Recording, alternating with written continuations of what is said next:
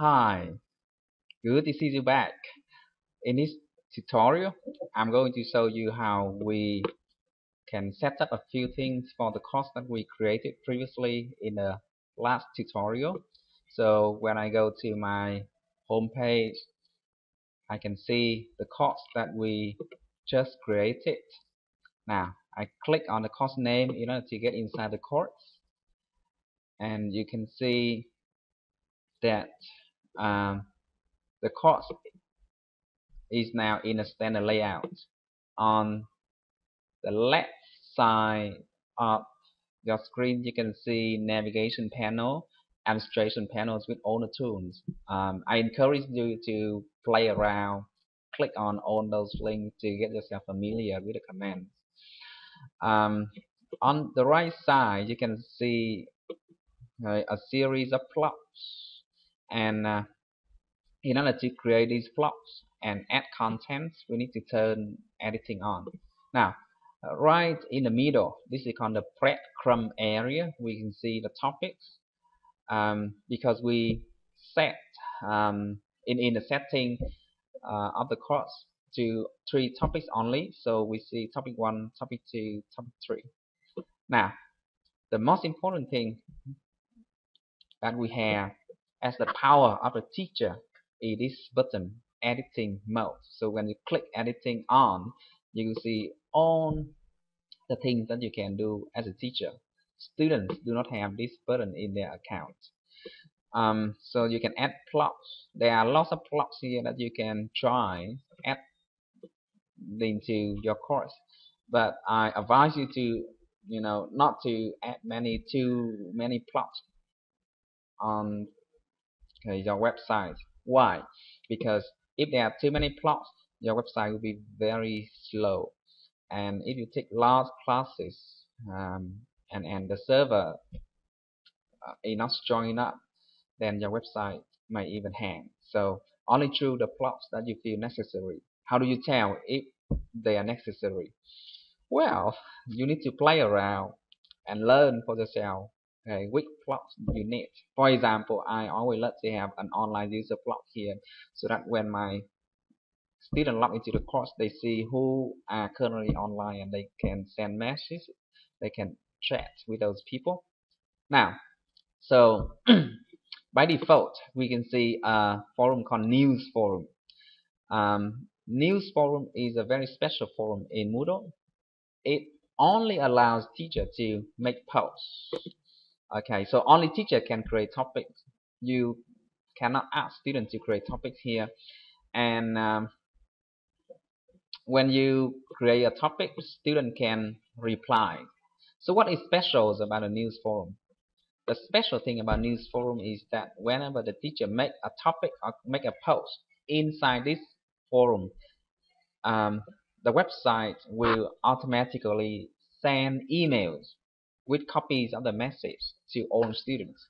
And this is the uh, functionality that I love to use a lot in the online courses that I'm teaching. Whenever I want to make announcements about schedule changes, about okay, activity that I want students to do or remind my students, I simply need to go to the news forum, make a post, and then the system will email all the students.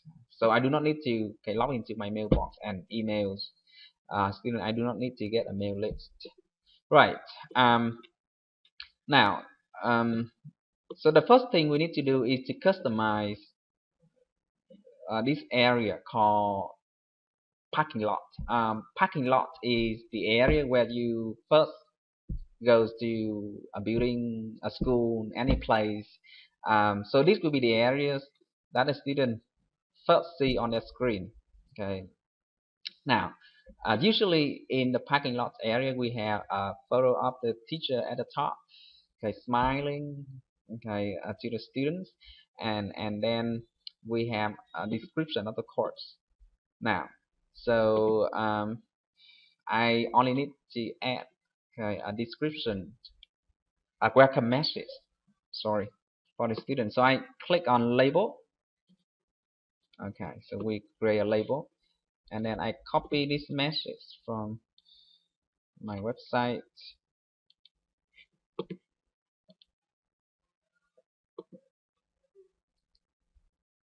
Copy. Right. And I paste it here. Right. So this is the welcome message. Welcome aboard. This ELT2 online course.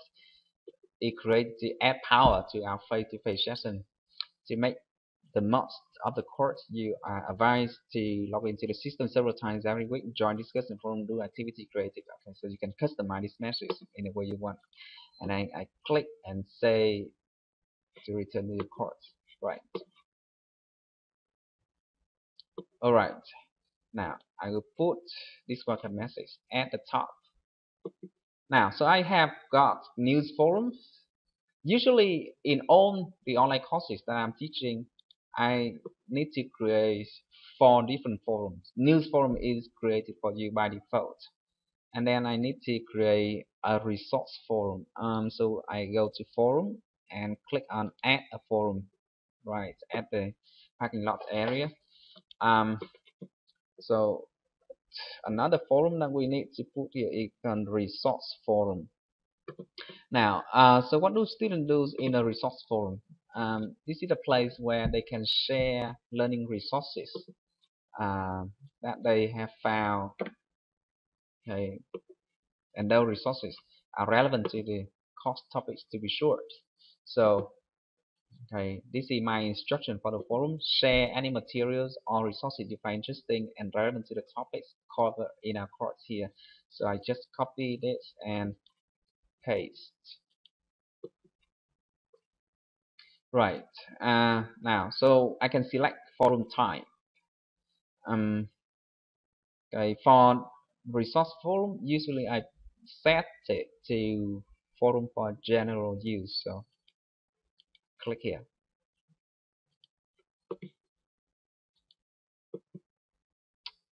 Alright so a resource forum. Now From my experience of teaching online, there are always discussion topics in the course where the students are discussing and they feel that they want to go, you know, sideways. I, I, I mean, they, they want to go off track. They want to discuss side topics, and um, um, we do not want okay, those side discussion to mix up with uh, the content in the forum. So it's a good idea to create um, a dedicated forum just for the purpose of chit-chatting and discussing things that are not related to the course. So I'm going to create another forum called um, Coffee Bar. So this is the course Coffee Bar. Coffee Bar. All right. Um, sorry, Coffee Bar. And then um,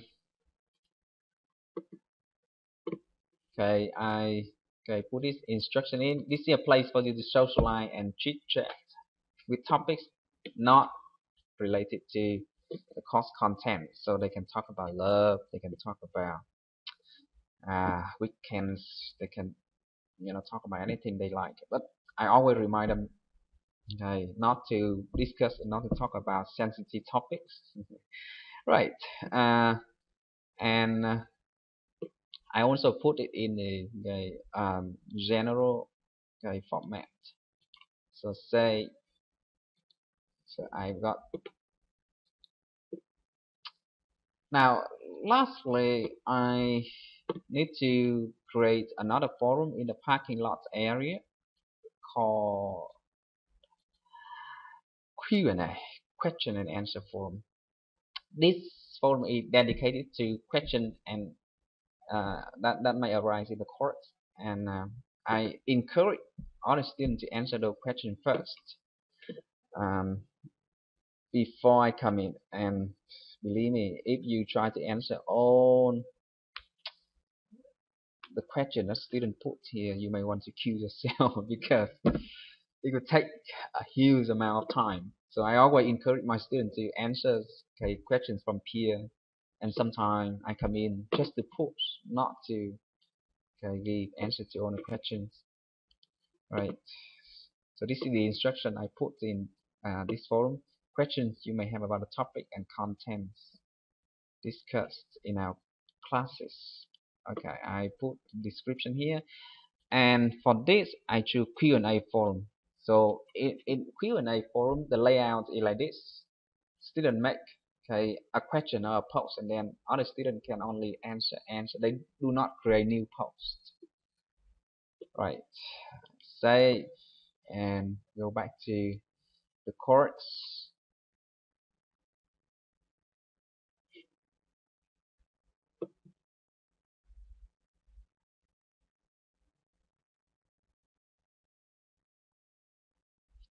all right um what do we do now? We add a chat tune for our student to chit chat. So I create another label.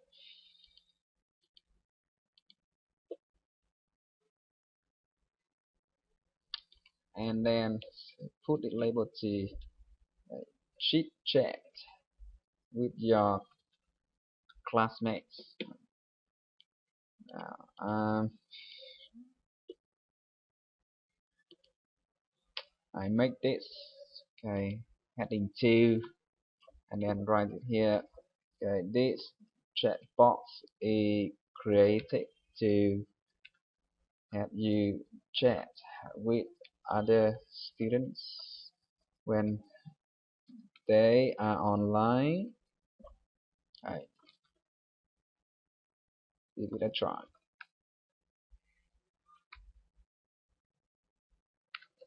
right so I have just created a label and then I click save and return to my course. Yeah this is what it looked like. And now I add my chat to okay this one chat. So this chat activity allows students to can chat with each other. It's nothing you know compare with Yahoo Messenger or the professional you know chat platform, but it adds colors to your course and it allows students to chat depending on how powerful your school server is. Um, ELT2 chit chat. Okay. I do not want to type any other description here, so I just copy and paste. Okay, save and then return to the course. Okay, so that's it. I have just customized the parking lot areas okay with things that I want students to see when they uh, log in um, now because we are using Gnomio and um, there are very few editing tools that I can use. Usually I I will put okay, a photo of myself here. Yeah in this area okay a smiling friendly uh, amicable photos to welcome my students and then the message here. Uh, but I cannot do I cannot do this in in in okay, this system. Um, um, the editor simply do not allow me to do it um, in a good way. And uh, then okay right under here sometimes I may put folders to share the course textbooks um, I can also okay, um, put in some other activities like okay, submission link for midterm assignment for final okay, course assignment etc but okay, basically for okay, a start okay, this is enough for the uh, parking lot area of the course alright so when I click on turn anything off this is what you see and this is exactly what our students see. Um, right so if they want to chat click on chit chat and then click here to enter the chat window.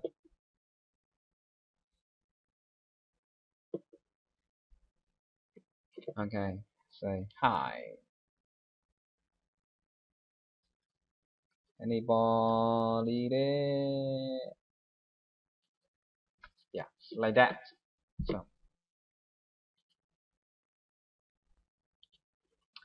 Okay so um, we have just learned okay some of the basic tools in the okay, two panels and uh, and and and uh,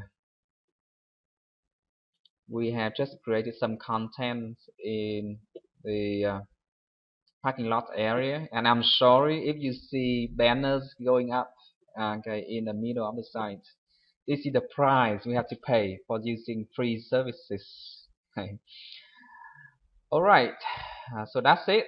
Um, we'll say goodbye here and um, in the next tutorial we start creating our first topic. Okay goodbye. See you next time